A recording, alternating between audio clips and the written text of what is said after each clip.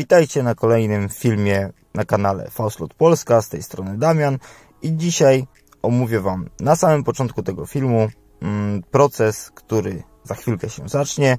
Będziemy wykonywali ozdobę, pierwszą ozdobę świąteczną w tym roku, tą ozdobę, którą widzieliście przed sekundą na samym początku, czyli choinkę, którą wytniemy sobie z płyty MDF. Jak widzicie, będziemy operowali na frezarce LIT 1010 w wersji Pro i w tym momencie to, co widzicie na ekranie, to jest przejazd osi nad płytkę prop XYZ od OpenBuildsa, która pomoże mi w, w pozycjonowaniu osi, czyli określeniu punktu zerowego dla materiału punktu zerowego dla osi X, Y i Z.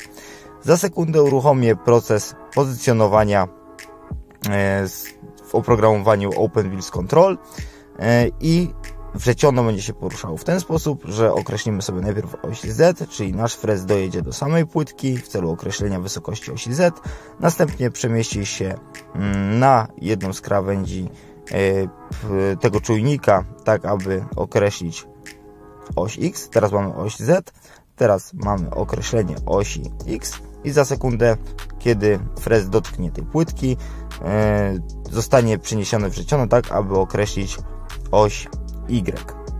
Po tej czynności będziemy mieli wypozycjonowane względem naszego materiału e, oś X, Y i Z.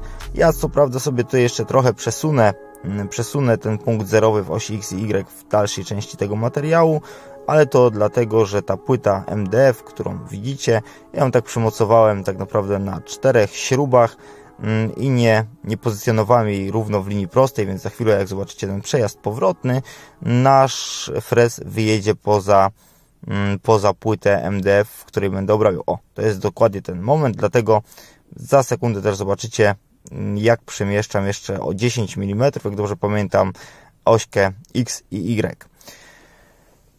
Pracujemy tutaj frezem o średnicy 3,175 mm dwupiórowym. Wrzeciono to jest 1,5 kW, wrzeciono sterowane falownikiem. Oczywiście do sterowania y, urządzeniem wykorzystujemy frezarkę e, e, przepraszam, wykorzystujemy oprogramowanie Open Builds Control. Projekt przygotowałem sobie w Fusion 360. Jeżeli będziecie chcieli, nagram o tym tak samo materiał. Prędkość pracy, e, właściwie wyjściowa prędkość pracy, jaką założyłem, to jest 2000 mm na minutę, jednak e, podczas pracy, to zobaczycie również na filmie, przyspieszę do 3500 mm na minutę, ponieważ tutaj bardzo fajnie sobie ten frez radził i nie widziałem żadnych przeciwwskazań, żeby, e, żeby tą prędkość zachować na tym poziomie wejściowym, więc zwiększyłem sobie z poziomu oprogramowania Open Build Control prędkość do 3500 mm na minutę. Ponieważ pracujemy tutaj frezem 3 mm, ja często wyznaję taką zasadę, że staram się nie zbierać więcej materiału niż średnica naszego frezu, dlatego tutaj też wchodzę w materiał 3 mm, kieszeń, która będzie wybierana mm, będzie miała głębokość 10 mm, tak więc będzie tutaj kilka przejazdów w osi Z.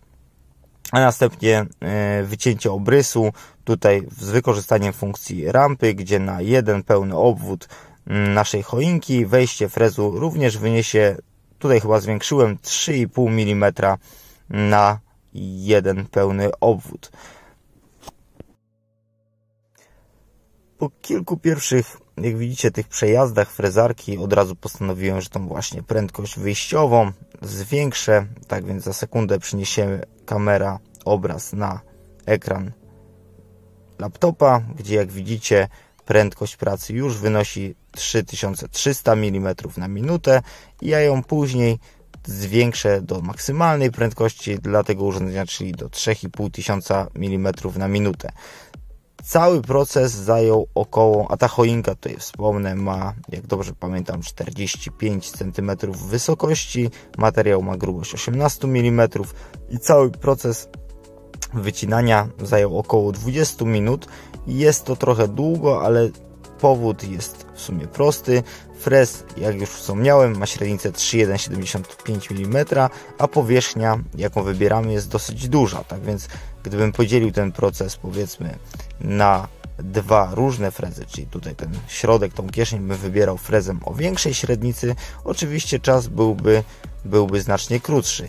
Ja nie chciałem jednak wymieniać tego frezu osobno dla obwodu, osobno dla, mm, dla wybierania kieszeni. I chciałem też gdzieś sobie tutaj zaoszczędzić e, jeszcze trochę tego MDF-u, żeby ten większy frez nie zbierał nam tej tej części zewnętrznej nie zbierał tego materiału za dużo, plus chciałem przetestować sobie wytrzymałość tego frezu, zobaczyć jaka będzie jakość po zakończeniu tego procesu, tak więc tutaj postanowiłem, że ten proces może trwać trochę dłużej, ale dzięki temu jeszcze zaczerpnę dodatkowych informacji o samym frezie, zobaczę jak on się będzie zachowywał. Zostawię Was w tym momencie już bez zbędnego gadania.